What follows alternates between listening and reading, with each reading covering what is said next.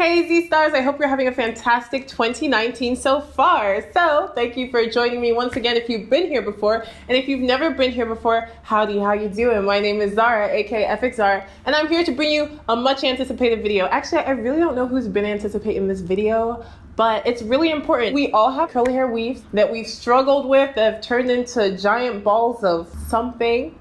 and we're looking for pertinent information regarding how to revive our hair. Now, I've tried boiling this hair, I've tried putting fire on this hair. Just kidding, I haven't done that. But the boiling method typically works for me and it didn't this time. So I'm going to show you all exactly how to revive your curly hair when nothing seems to be working.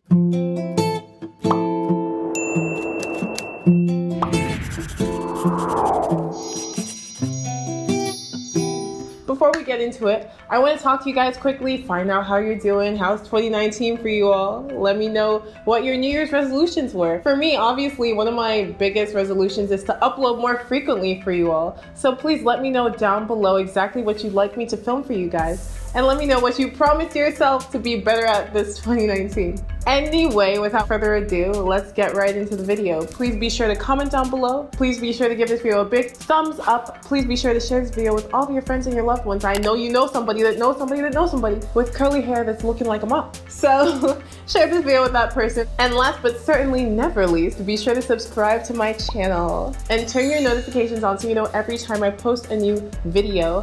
Uploads here are Tuesdays and Saturdays. So be sure to stay tuned for my next video. Thanks you guys, let's get right into it.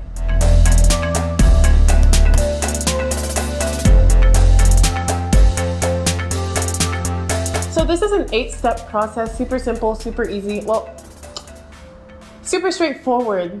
Depending on the severity of your hair, it may not necessarily be super easy, but it's really straightforward and you're going to see the light at the end of this tunnel. I promise you we're gonna get through this together. Like you guys, this hair was a hot mess prior to me embarking on this journey, but now it's looking real slay mama-ish or whatever. so let's get right into this. You're going to lightly finger detangle your hair.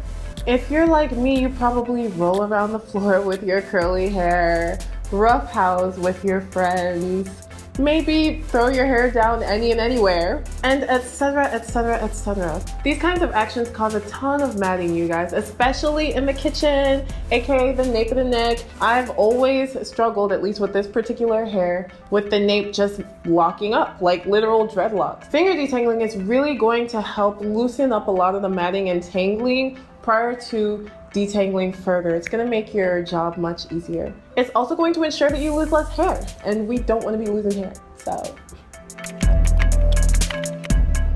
The next step is to wet the hair. I personally observed that wetting my kinky or curly hair extensions loosens up the matting even more. If you're very patient during step one, it's really going to make a huge difference. If you just pop some water on there and you don't do step one, you're probably going to have an even worse time. So make sure you're very thorough. Again, in step one before you put water on the hair. Be sure that when you're applying the water, the hair is going in one direction. You don't want it to just like lock up and tangle up again. No, no, no, no, no. And there are two methods. Now my first method is spraying the hair with warm water.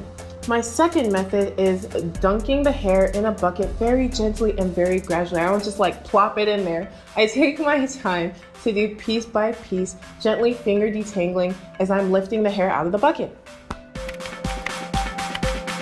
Use a detangler. This is so important. The reason why it's really essential to use a detangler is because it will soften the hair, that's number one. Number two, it will help the cuticle to lie down really flat so the hair glides past itself a lot more easily. My favorite detangler is actually the Cantu for natural hair detangler. I'm gonna put that in the description box down below. And I'm pretty sure I mentioned it in my favorite product video, which you guys can check out like, right? Is it this side? No, it's this side. You guys can check that out right here. I also use it on my natural hair. It's a really, really fantastic detangler. Super effective and it does not give me any issues. Going to very gently and very patiently detangle the hair. I cannot stress this enough, y'all. I've had some interesting struggles with this hair. Generally, I'm quite gentle when it comes to dealing with curly extensions. And I have other curly hair that literally will like be a hot mess. And I put in the least amount of effort to revive it. For this hair, it's definitely a lot more high maintenance than other hair I've dealt with. Anywho, I kinda am digressing. when it comes to very gently and patiently detangling, you're gonna wanna take your brush I use my Kemp brush. I also use my Tangle Teezer. You're going to start from the bottom and work your way up. If you come to any tangles, they're just not trying to come out with that kind of detangling, make sure you pause, don't rip at it. It could be frustrating. I know. I know. Trust me, I know very well. You put down your brush and you take those fingers and you go back to gently working out the tangles co-wash the hair. Now this is extremely important. After doing all of this, you're not going to want to use shampoo. Shampoo could potentially dry out the hair. Now what I observed with this hair is that initially when I was co-washing, it was super soft. I didn't even really need to condition or deep condition. I would do like mild treatments, but as the hair got more mature, I would co-wash and it would be really, really crusty, dusty, wusty. If you guys can actually recommend some great conditioners for hair extensions, please do so down below. Your girl needs it. Now I definitely refrain from shampoo, period. Period. Like, I'm not about to do that to this hair. And I do not advise that you do that to your hair either. Now, with your natural hair, I would definitely recommend shampooing. But with this kind of hair, be sure to only co-wash it and make sure that the co-wash cleanses it enough. The water should be running clear prior to applying your conditioner sure you're deep conditioning with a very slippery and very moisturizing conditioner. Now the reason I'm saying this is because this step is also going to serve as a further detangling session because okay, you've gotten all the dirt and the gunk out of the hair. The hair is clean. It should still be very, very detangled, but you want to make sure that each little knot is out of that hair so you don't suffer the same fate the next time around. Now, in order to help the deep conditioner penetrate the hair shaft very, very well, I don't boil it because like I said, boiling is not working for this hair anymore. What I have resorted to doing is putting it in the microwave for approximately two minutes. now I just put it in a glass bowl and I cover it with microwave safe saran wrap and I just pop it in there a minute, let it do its thing. After that minute, I like flip it over, shake it around. I let it microwave for another minute, and this has actually really, really helped revive this hair. After you've done all of that, the hair should be really shiny, really sleek, and super duper detangled. Once you've ensured that that is the case, it's time to wring the hair out and then allow it to air dry. Now I like to put my hair on my wig stand and then my wig head and I just let it air dry. I never ever ever use heat on my curly hair because I wanted to retain as much moisture as possible and I'm not trying to have a repeat of the horror that I just experienced with all this matting and tangling. As the hair is drying, before it's completely dry, make sure you apply a little bit of leave-in and a little bit of serum. In this environment, it's extremely dry, so you need to make sure that you're giving your hair the right product so it doesn't get all tangled and matted up like, you know, mine did. But of course, you don't want to be too heavy-handed because sometimes product is the reason why hair mats more quickly. Now it's important to find the right balance. I know some people like to gel their hair, you know, wear that like mammy water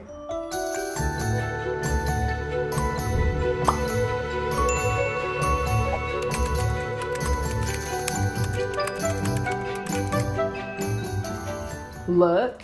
There are other people that enjoy that effortless girl next door kind of look. Guys, I don't know, I hope with all of my rambling and all over the placeness, you still understood what was going on in this video. I mean, I missed you guys. I wasn't gone that long. I was enjoying my life in Lagos, to be honest. I feel like I need to start making Nigeria vlogs because I've been having such a good time in life lately. Like, I've just been shopping life, eating food, going out, having fun, experiencing new things. So maybe I should vlog for you guys, right? Um, you guys have to let me know. I'm gonna put a poll like right here. Should I vlog or should I not? Would you guys watch my Nigeria vlogs? Would you watch vlogs when I go back home to America?